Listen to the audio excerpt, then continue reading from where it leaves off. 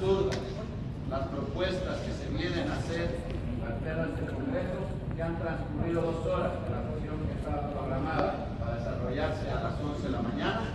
y no han podido ponerse de acuerdo ni siquiera entre ellos, porque esa es la razón por la que no vienen, faltando respeto a todos los que están aquí, a los medios de comunicación y por supuesto a mis compañeros diputados. Hacemos un llamado al médico para que se presente de una vez, porque si no lo que hay que hacer es cada quien a sus ocupaciones ya que citen para otra ocasión. No se vale faltar el respeto a Veracruz de esta manera.